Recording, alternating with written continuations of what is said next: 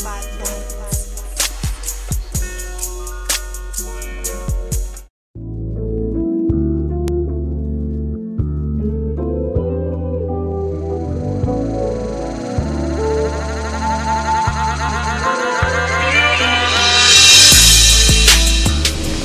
mm, alright. What I'm gonna have you do, this is per policy, we're gonna have you uh, pop the trunk and we're just gonna put the firearms in there. God damn. he has more firearms in the car, no, but nah, nah, you, but we're not gonna check it, but Nah, listen, I just went to the gun Huh? ring, so I had everything in the car. nah, man, you good. God damn, my boy's about that life. That's what I'm saying. I, I was used to He's a vector? Yeah, that's not a vector.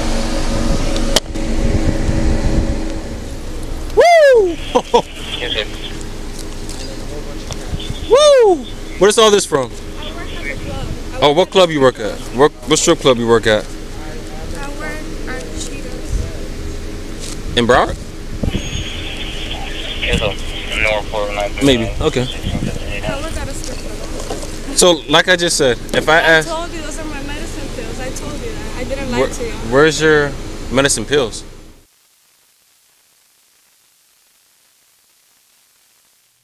Yo, YouTube, YouTube, what's going on? Trey back again, hit you with a video. Now, this video right here comes out of Florida, where we have a man and a woman. One's a stripper, I guess the other one's her boyfriend, a manager, or somebody. They end up getting pulled over by the police, and the most unlikely thing happened. Other than getting caught with a little something, you know, everybody damn near, not everybody, mostly everybody's riding dirty. Because I say everybody, that means everybody. So we- we'll say it like this: mostly everybody is riding dirty. Whether you have your little smoke in there, a little something to drink, you know, or some shooters. Anyway, now the police pull these people over for allegedly cutting one of them off. Now you know that can be true or that can be false also. Cause hell, I done got pulled over before they said I was on the white line. I know damn well I wasn't riding on the white line that day on the highway. But anyway, I wasn't riding dirty though. But I had the UGK riding dirty CD. Big shout out to them. But anyway, uh now the police pull them over. You know the first thing they want to do, they want to check your trunk, they want to check your car, look all in your face, ask, you where you're going and stuff. Try to get you tied up on your words. And when they get you tied up on the words, or if they can't find none, or if they just a jerk, they're gonna push the issue. So this cop goes to the trunk of the car and he opened up the trunk of the car and guess what he's seen? A whole cache, like Corey Holcomb said, a whole heap of weapons in the damn trunk. Yes, he's seen damn assault rifles. It- I, I thought they was the damn Max Payne and Angelina Jolie from Tomb Raider done met up and done uh done made a matrimony, if you will, all these damn weapons. I'm like, only a damn cartel or the U.S. Navy should have them type of weapons anyway. I mean, they had all kinds of assault weapons, but that wasn't the bigger issue. The bigger issue was they had damn near twenty thousand dollars in cash Now. And I know a lot of you all like, "Well, Trey, I got twenty stacks on me right now. Don't tell nobody. Keep it to yourself." But when the police see twenty racks, you feel what I'm saying? And, and, and mostly all of them, unless you way up there, they ain't getting paid no twenty thousand like that. They take offense. You know, sometimes. uh depends on who you are. If you're a known celebrity or star, whatever, they might will mess with you and they might won't mess with you. But if you ain't on TV and they don't really know who you are, they're like, where does money come from? So you know the automatic thing is drugs involved or you don't rob somebody bank or whatever. It come to find out the money come from uh little mama shaking that tail fella. And she goes by the name of Liz Mazel Batista. 30 I mean 20 years old. Look 30 though. But anyway, now who would have known there was that much money in shaking ass? Damn, I am in the wrong profession. Me and the rest of my YouTubers, we need to go down to Miami and uh, you know what I'm saying? Throw on that speedos and do what we gotta do. But anyway, I'm gonna read a snippet from this story and I'm gonna give my opinion. Surely as we go. We got bills to pay, sweetie. Miami cops are forced to return almost $20,000 in tips they seized from a stripper. Yes, a stripper. 20 years old when they pulled her over. Now you might say, well damn, 20 years old, well I guess she figured here my body is in its prime. I gotta I gotta go and make make my money while I can, you know what I'm saying? So go and go shake that salt shaker, drop it like it's hot. But at the same time, who knew in the hell these strippers make that much money? What the hell they had going on down there? All Star Weekend? I mean, uh, is the spring break still going on? I thought that was over with. Anyway, now Miami police pulled over Raz Cates 33. Sound like somebody is up to a little something, something, something. And his wife. Oh, that was his wife. Liz Mazel Batista, 20 years old, but baby look every bit of 30 years old in the face. Excuse me about that, Raz. Don't come for your boy. I'm just speaking the truth. On May 25th, an officer's body cam recorded officers searching the car without permission. Searching the car without permission. You know you, you got to have a probable cause or permission from the person. I learned that the hard way. Now, they see six guns, marijuana oil, codeine syrup, and $19,934.15. Even counted it down to the cent. And tips from Batista, she said she had earned as a stripper. So I guess they drew the sense on her while she was at, on stage and stuff. Probably heard her with one of them pennies and nickels. Now the couple were charged with multiple felonies, including armed drug dealing. Prosecutors dismissed the case because the search was deemed unlawful.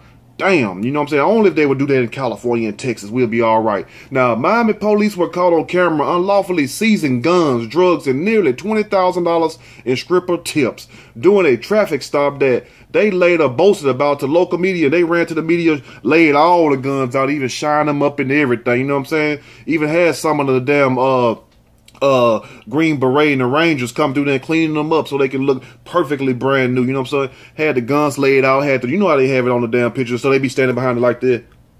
But with all the drugs and the guns on the table and stuff like that, they really did some shit. And uh, sometimes they do, but at the same time, that'd be some funny shit when they be standing behind a little drug. I've seen some of them stand behind a 20 20 20 dollar bag. You know what I'm saying? A twenty for for those who uh don't know what it is, or a dub twenty. You know, so I've seen them have a little uh, uh, dub of weed. You know what I'm saying? A little pistol. They be behind, be ten of them just like this behind, just like that. I'd be like, what the hell is going on? Now, anyway, now Raz Cates 33, and his wife Liz Mazel Batista. I wonder if she kin to the wrestler Batista. 20 years old, were pulled over for cutting off a patrol car in Miami on May 25th when officers searched the couple's car without permission. Damn, you know what I'm saying? You y'all might would have had a little something if you would have had permission. Now in the trunk they found six guns, including three assault rifles. What you need assault rifles for? Like the old folks say, what you need all that for? Now nineteen thousand dollars and nine hundred and thirty-four uh, $19,934.15 that Batista had uh, earned as a stripper and had earned also in tips at Cheetah's Gentlemen's Club in Holland in Hollandale Beach. Damn, Cheetah's Gentleman Club paying like that? Twenty damn thousand dollars, boy. I'm telling you, boy, y'all love the trick, boy. Y'all love the trick on them thoughts.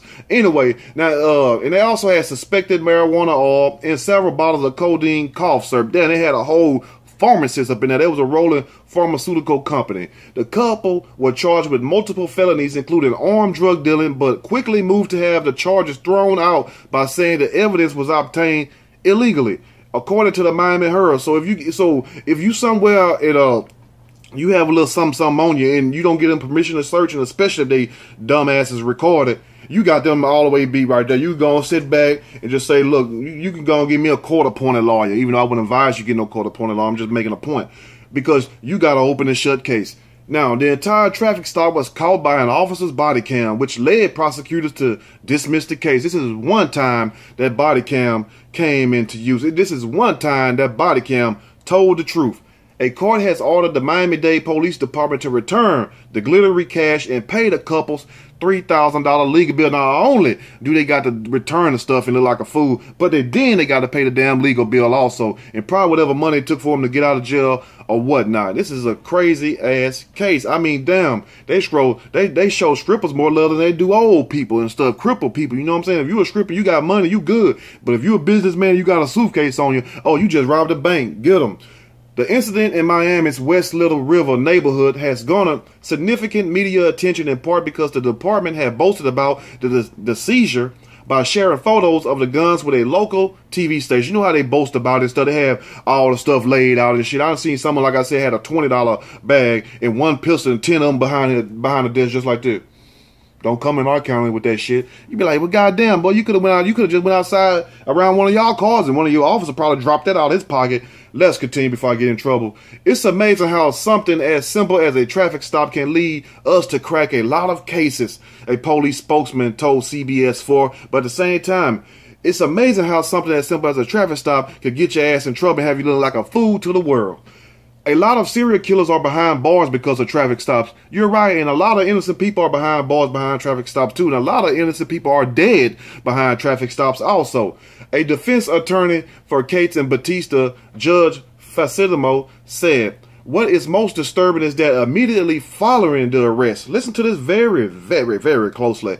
what is most disturbing is that immediately following the arrest, the department went on TV and engaged in incendiary speculation without knowing the facts or even acknowledging the rampant violations of my client's constitutional rights.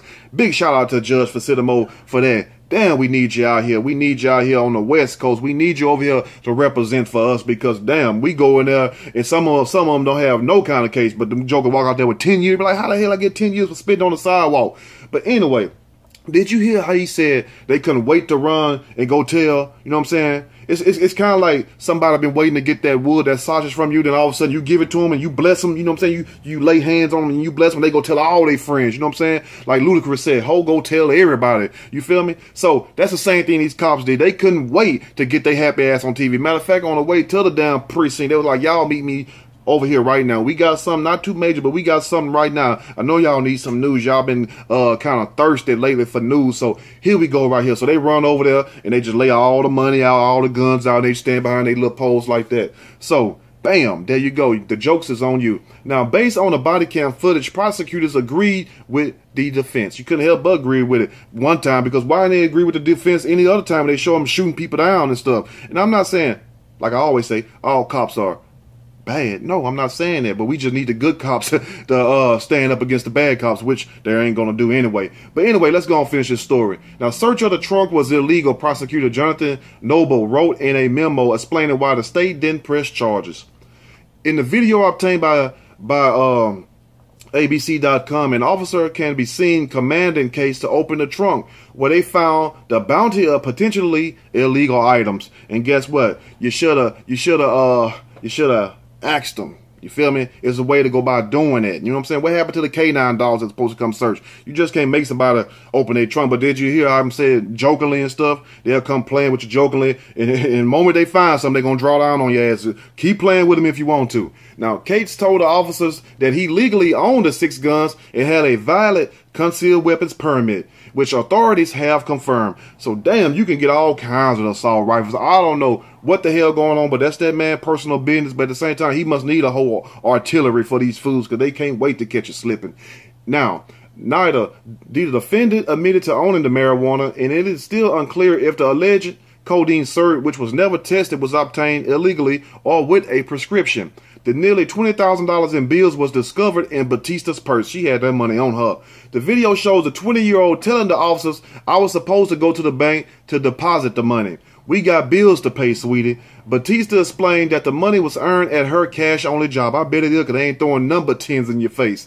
A fellow stripper named Haley Heath testified that Batista earned significant cash tips at Cheetah's Club at a hearing. So she basically, uh, her fellow stripper, Haley Heath, testified that uh, Batista earned that money shaking her ass and she did all kinds of strange things to get that little piece of change. And I'm not trying to go overboard with it. I'm just saying she uh earned it the hard way, if you know what I mean. You know, like the old phone, the old song, uh, like my mom used to play. Uh, she works hard for her money, so hard for her money. Y'all remember that song, you older people. Anyway, now, however, the department has requested to keep the money for investigation after a police dog indicated that the cash had been in close proximity to large amounts of narcotics. Huh? How you gonna keep the damn money if, just because it was close the proximity? What kind of shit is this? I mean, the money got to be a certain distance now, but they got a law for everything. You feel me? Now, I felt that the glitter on the seized cash was compelling evidence, but apparently the police department disagreed. Defense lawyer Faccidomo quipped. Because there was no probable cause for seizing the money, Judge Rodney Smith ordered that it be returned to the couple. Hell, I got pulled over with a couple stacks and they took mine. I got it back three days later, but then they took mine. I ain't have nowhere near 20. But you know what I'm saying? So I understand. And, and I shit, I had I had a damn job and every damn thing. But anyway, let me know what you all think about this crazy ass mess because it's a crying damn shame that uh the whole search was illegal. But at the same time, if you was a police officer and you rolled up on somebody and you seen twenty thousand dollars, you know what I'm saying, somebody purse, you found it in their purse, and you see a cashier of weapons, then alleged codeine and marijuana and all this, you're gonna automatically think, well, these people pushing it to the limit, you know what I'm saying? They got that Rick Ross uh spirit in them. They're gonna hustle, hustle hard. So I understand a cop thinking that, but at the same time with the illegal searching all this stuff without permission, then basically swindling the people into letting you search the trunk and stuff, which you know that that is against policy because they usually ask for permission, and if they don't get permission, unless they have probable cause and they see a crime going on, they'll call a canine dog in and try to sniff out for drugs. But anyway, let me know what you all think about this mess because damn, if these crippers making twenty damn thousand dollars a night uh, shaking ass, well shit, I need to find out if they got some jobs available for the means. You see what I'm saying? And uh, some of my uh, subscribers, some of my uh, fellow subscribers, you can come along for the ride too. We can we can turn a whole empire out here like Lucious Lyon. Anyway. Let me know what you all think about this video. If you like the video, push that like button. If you like the video, subscribe to the channel. And also share your video with your friends and your family out there dropping it like it's hot and getting a paper. Anyway, y'all have a blessed day. I'm out.